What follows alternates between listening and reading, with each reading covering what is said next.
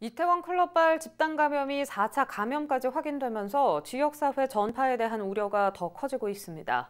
18일 낮 12시 기준 클럽발 확진자는 170명으로 이 중 2명이 방문자와 직접 접촉하지 않고 감염된 사람으로 인해 발생한 것으로 나타났습니다. 방역당국은 밀폐된 공간에서 한두 명의 코로나19 감염자가 방문해도 전파가 광범위하게 일어날 수 있다며 주의를 당부했습니다.